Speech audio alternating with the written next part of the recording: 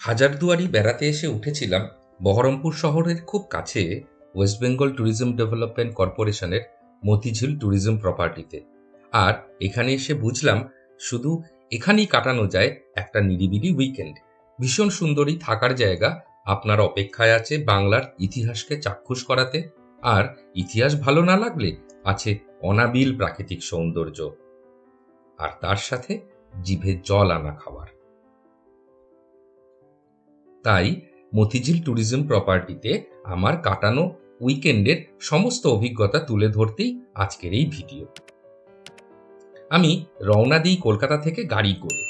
চৌত্রিশ নম্বর জাতীয় সড়ক, যার প্রায় ষাট শতাংশই চার লেন হয়ে গেছে, তা ধরে আমার কিন্তু পৌঁছতে লেগেছিল প্রায় সাড়ে ছ ঘণ্টা। আমি কলকাতা থেকে রওনা দিই দুপুর একটা আর রাত আটটায় আমি পৌঁছে যাই মতিঝিল। মতিঝিল বহরমপুর থেকে বারো কিলোমিটার দূরে। উত্তরবঙ্গ এবং দক্ষিণবঙ্গ থেকে কিন্তু বহরমপুর পৌঁছতে আছে অনেকগুলি বাস বা ট্রেন। রিসেপশনে সই সাবুত করে এবার রুমে চেক ইন করার পালা। রাত প্রায় নটা।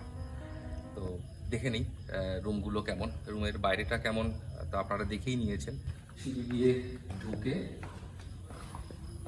এটা দরজা এই দরজা খুলে নিই একটু শক্ত ছিল আর বেশ ভালো। একটা ডাবল বেড রয়েছে।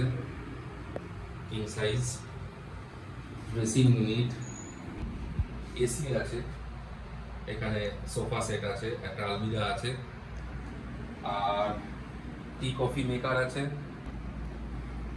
বেশ ভালো নিট অ্যান্ড ক্লিন পরিষ্কার, পরিচ্ছন্ন রুম তার অবশ্য অন্যতম প্রধান কারণ এই কটেজটা খুব বেশি পুরনো নয়। এটা সেই জন্য এখানে জিনিসগুলো বেশ ঝকঝকে, তকতকে। আর রাত তো অনেক হতে চলল।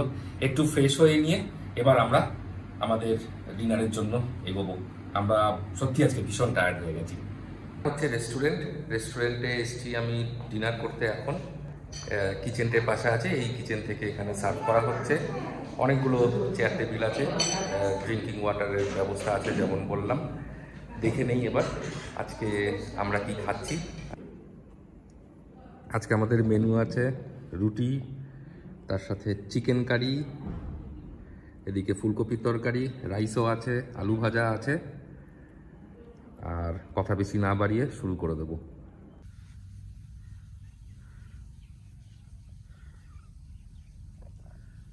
কটেজগুলোর ঠিক বাইরে যে গার্ডেন এই গার্ডেনে এখানে বসার ব্যবস্থা আছে। এই সুন্দর গার্ডেন চেয়ার আর গার্ডেন টেবিল রাখা আছে।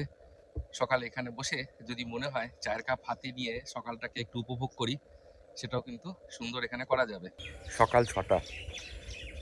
ঘুম থেকে উঠেই বেরিয়ে পড়েছি। পায়ে হেঁটে এই মতিঝিল পার্কটিকে একটু ঘোরার জন্য। আজ সারাদিন প্রচুর টাইট শিডিউল তাই এই সকালবেলাটাই একমাত্র সময় যখন এই বিশাল মতিঝিল পার্কটাকে একটু এক্সপ্লোর করা যায় যে মতিঝিল পার্কে কি কি আছে। মতিঝিল আসলে একটা অশ্বক্ষুরাকৃতি হ্রদ বা অক্সবো লেক আমরা যাকে বলে থাকি।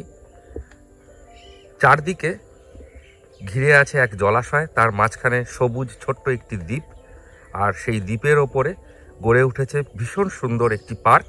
আর সেই পার্কের ভেতরেই রয়েছে ওয়েস্ট বেঙ্গল ট্যুরিজম ডেভেলপমেন্ট কর্পোরেশনের থাকার জায়গাটি। তাই মুর্শিদাবাদ, যদি কেউ ঘুরতে আসেন, হাজারদুয়ারি ঘুরতে আসেন, আমি বলব মতিঝিল পার্ক যেন অবশ্যই একটা দ্রষ্টব্যের মধ্যে থাকে আপনার। আর যদি এখানে থাকতে পারেন, তাহলে তো কথাই নেই। হালকা কুয়াশা ছিল, সূর্য ওঠার আগে। সূর্য ওঠাতে কুয়াশা আস্তে আস্তে কেটে যাচ্ছে। আর পার্কের একদম শেষের দিকটায় চলে এসেছি। দেখি এই দিকটায় কি কি দেখার আছে। তিনশো পঞ্চাশ একর জমির উপর গড়ে ওঠা মতিঝিল লেককে ঘিরে কর্মকাণ্ড নবাব আলীবর্দী খানের জামাই ঘসেটি বেগমের স্বামী নওয়াজিস মোহাম্মদ খানের হাত ধরে।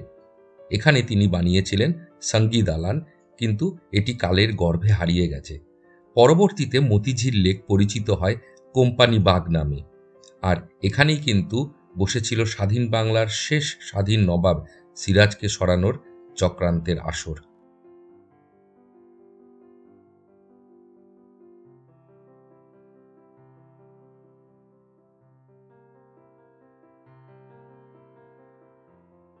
আমি এখন যে চত্বরটায় দাঁড়িয়ে আছি, এই চত্বরটিতে লাইট অ্যান্ড সাউন্ডের একটি প্রদর্শনী বা একটা শো হয় এখানে।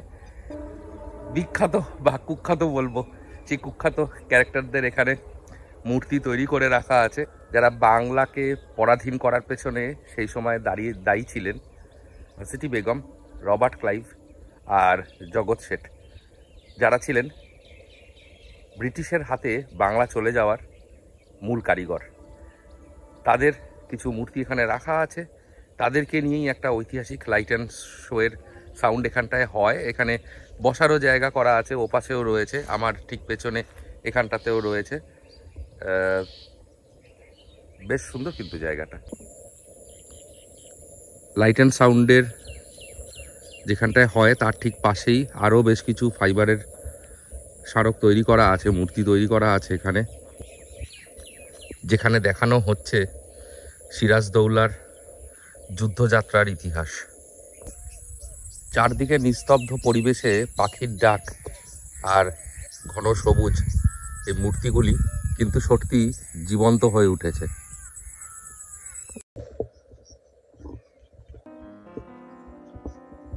মতিঝিলের বাঁদিকের যে লেকের অংশ, সেখানে বসে আছে অজস্র পাখি। মূলত যতদূর খালি চোখে ধরা পড়ছে বক, সারস, অজস্র মাছরাঙা। তাই যারা ফটোগ্রাফি করতে ভালোবাসেন, স্পেশালি বার্ড ফটোগ্রাফি, আমি তো বলব এটা তাদের জন্য একটা প্যারাডাইস।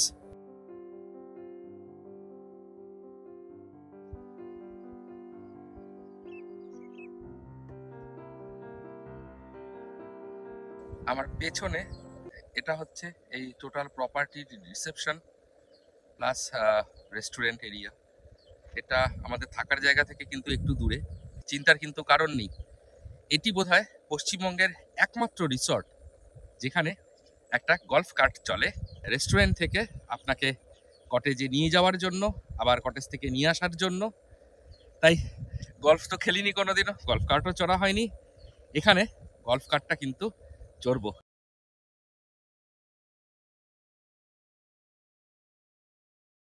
এটা হচ্ছে গলফ কার্ট এটা করে আমরা এখন যাব ব্রেকফাস্ট করতে।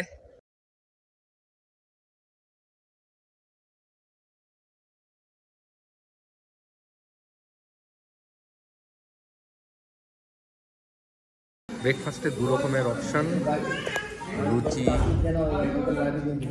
তরকারি, কলা অথবা ব্রেড বাটার অমলেট, এখানেও কলা থাকবে একটা। আর এছাড়া আছে রসগোল্লা, মুর্শিদাবাদের রসগোল্লা কিন্তু খুব বিখ্যাত। এত বড় এই মতিঝিল যে প্রপার্টি ডাব্লিউবিটিডিসির এটা ঘুরে পায়ে হেঁটে ঘুরে দেখতে প্রচুর সময় লাগবে। আমরা আজকে ঠিক করেছি এই যে গল্ফ কার্ট এই গল্ফ কার্ট করে পুরো পার্কটার একটা চক্কর লাগাবো।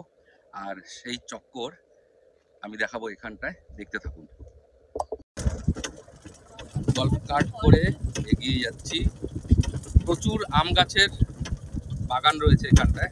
আম গাছ রয়েছে প্রচুর। গোলাপের বিশাল বড় একটা বাগান আছে। আরও নানা রকমের বাগান আছে। দেখতে দেখতে এগোই। আমার সঙ্গে যিনি আছেন, উনিও বলে দেবেন কোথায় কোথায় কি কি দেখার জায়গা আছে। সেগুলো সব দেখতে দেখতে যাই। এখানে আছে একটা শিশু উদ্যান, লেকে বোটিংয়ের ব্যবস্থা, টয় ট্রেনের মতন অনেক আকর্ষণ।